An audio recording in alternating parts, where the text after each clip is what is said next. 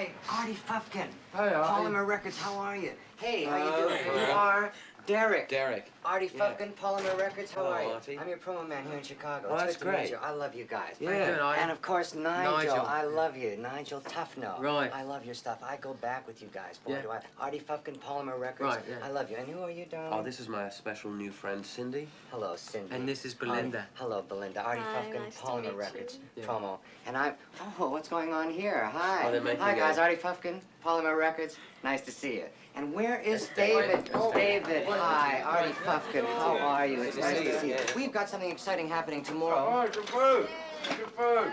Oh, thank God, civilization. Where do I put this?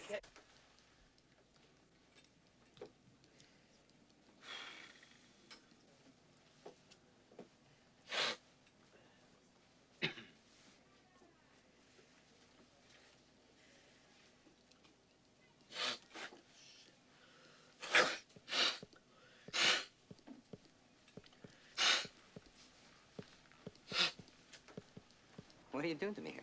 I'm not doing anything. I This- thought we had a relationship here. I don't know what, I don't know what happened. Business is terrible, Artie. What, what can I tell you? This is the truth. I know business is terrible, but, but what happens with a, with a record store with a promotion and nobody shows up? This we had isn't a friends. personal thing, Artie. Nobody's coming in the store Forget personal thing. We had a relationship here. Forget about personal. What about a relationship? I feel like a schlub, and I don't know what's happening. It's me. That's what it's happening. It's me. I did it. It's my fault. I don't know. Well, we were told massive radio support. We did. We did massive. We had- did massive. We saturated. They We oversaturated. radio support. That's what it is. It's me. I did it. I fucked up. I fucked up the timing. That's all I fucked up the timing. I got no timing. I got no timing. I got no timing. You know what I want you to do? Will you do something for me? What?